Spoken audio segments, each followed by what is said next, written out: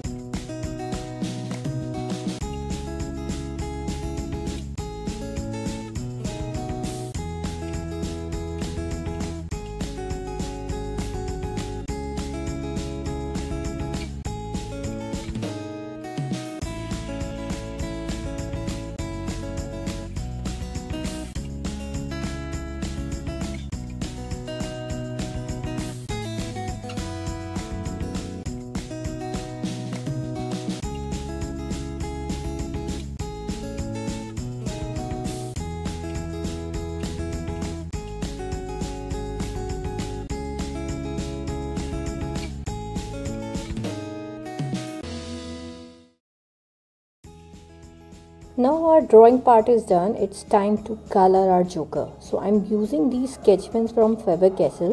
You can use any other sketch pens also. What I noticed while using these sketch pens from Faber-Castell that they bleed. You know, uh, they lose some color and especially when I use the light color. So if you feel like that you want to use your crayons or your pencil colors, you can do that also and if your sketch pens are good enough that they do not bleed they do not leave any color stains then you can use them also. So first of all as you can see i am outlining my joker with a black sketch pen okay?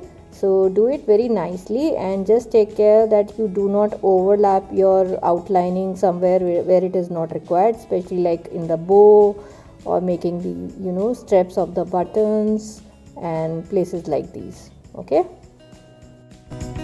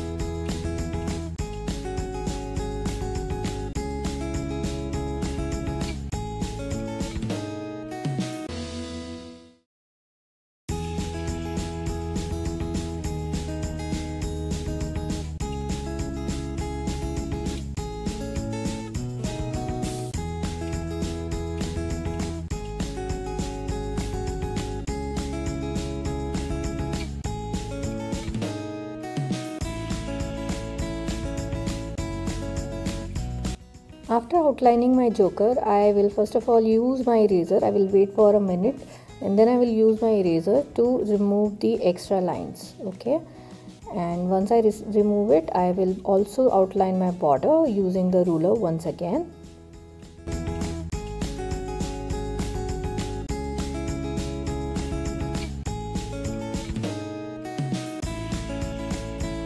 Now we start coloring our joker uh, you can use the same colors as I am using and if you wish to color your joker in your own colors you can do that also. Okay? Make it colorful make it beautiful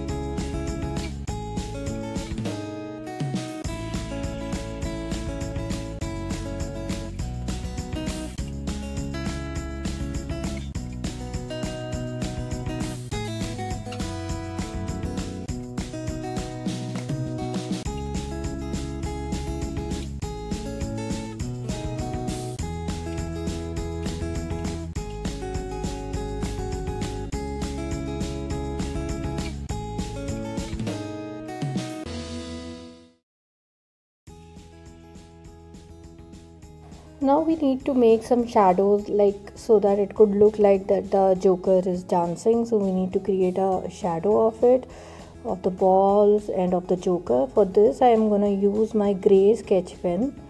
So first of all you need to do hatching in this. What is hatching? You need to first of all fill color in one direction like this and once you finish this direction then you have to do the filling of the color in the other direction. That is known as cross hatching.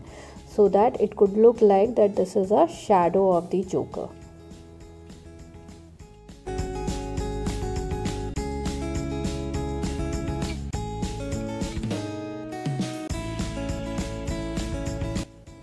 Now we will do the shading into the other direction the coloring into other direction so that it could look like cross and a proper shadow of the joker as if like he is standing right? Now we'll make some more shadows like this of the balls one like this again the same way crisscross hatching and here too